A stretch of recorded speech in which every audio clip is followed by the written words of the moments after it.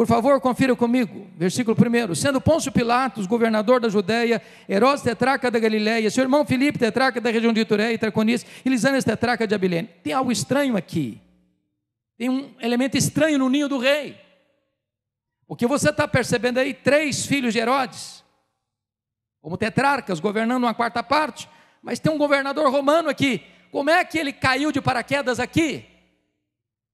Para explicar isso, eu vou precisar de um pouco de paciência de vocês para retroceder na história, porque entendo que isso é fundamental para entendermos a entrada de João Batista na história.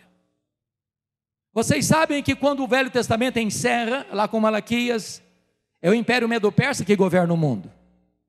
Esse império caiu nas mãos do Império Greco-Macedônio, Filipe da Macedônia, Alexandre o Grande, que espalha a cultura grega, a cultura helênica, e divulgam a língua mundial, universal, o inglês de hoje, a língua grega.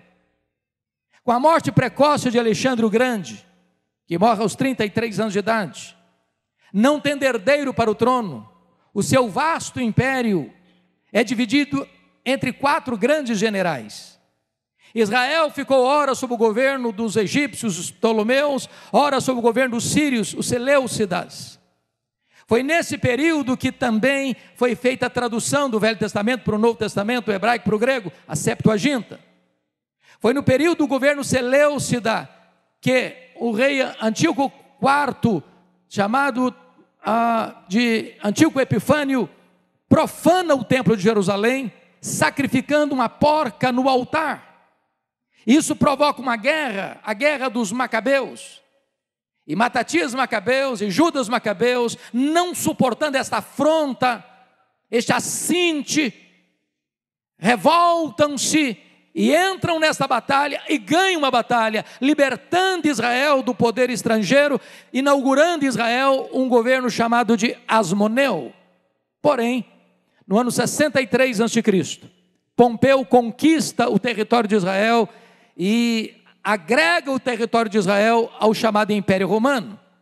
E o Império Romano começa então a governar sobre Israel. Pompeu nomeou Antípater como rei sobre Israel. Com a morte dele, agora fica mais fácil entender, o seu filho Herodes, que nós chamamos de Herodes o Grande, passa a governar sobre todo o território de Israel. Esse Herodes o Grande, o pai desses meninos que estão aí no versículo primeiro, foi um homem ilustre no que tange a empreendimentos. Foi ele quem construiu, ou melhor, ampliou e embelezou o templo de Jerusalém, tornando-o mais belo do que o templo de Salomão. Foi ele quem construiu o porto de Cesareia, abrindo o comércio para o mundo, facilitando as viagens missionárias.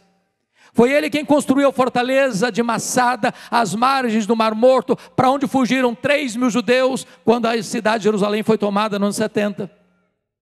Porém, esse homem, ele era muito amante do poder e muito medroso de perder o poder. Para vocês terem uma ideia, Herodes o Grande casou-se nove vezes. Nove vezes. Quando ele assume o governo, ele manda matar mais da metade do sinédrio, que era composto de 71 membros. Para dizer aqui, quem manda sou eu. Das suas muitas esposas, a preferida dele era Mariana, da nobreza. E quando ele assume o governo, a sua sogra, Alexandra, pede para ele nomear Aristóbulo, um menino de 17 anos, sobrinho dela, como sumo sacerdote, porque a religião já estava corrompida, e ele nomeou. O menino foi bem, e com ciúmes mandou matá-lo. A sogra fugiu para as asas de Cleópatra no Egito, e ele manda os seus emissários lá no Egito e mata a sua sogra no Egito.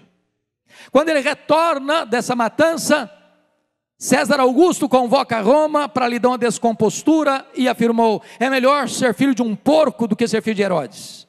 Com medo, porque a família da mulher dele, a preferida, Mariana da nobreza, está sendo assassinada por ele, com medo dela revoltar-se contra ele na sua ausência, antes de viajar para Roma, mata sua mulher preferida.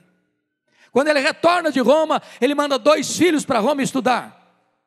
Salomé, sua irmã, pior do que ele, disse: quando os meninos voltarem, eles estarão mais aptos para governar do que você. Ele não titubeou, mandou estrangular os dois filhos. Quando ele estava para morrer, na instância mineral de Jericó, ele fez a sua irmã Salomé jurar para ele: no dia da minha morte, você vai matar um membro de cada família nobre de Jerusalém, porque eu preciso ter sangue e lágrimas no meu funeral. Bom, isso ajuda você a entender um versículo que por anos eu não entendia. Lá em Mateus 2, diz que quando os magos vieram do Oriente, chegaram em Jerusalém e fizeram uma pergunta: Onde está o recém-nascido rei dos judeus? Vimos a sua estrela no Oriente e viemos para adorá-lo. E diz a Bíblia que o rei Herodes ficou alarmado e com ele toda Jerusalém. Ué, mas como uma pergunta dessa alarma um rei? Como uma pergunta dessa alarma uma cidade? É que Jerusalém sabia da truculência desse homem, do que ele era capaz. Tanto é fato que ele mandou matar todas as crianças de Belém, tentando eliminar assim o Messias. Mas eu tenho uma boa notícia para lhes dar. Os poderosos deste mundo também morrem. Só o Rei dos Reis, Jesus Cristo, continua no trono.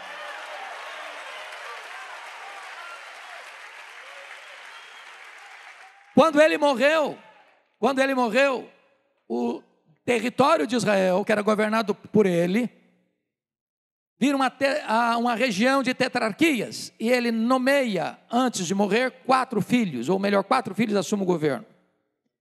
Aqui é curioso, prefeito, que só tem três.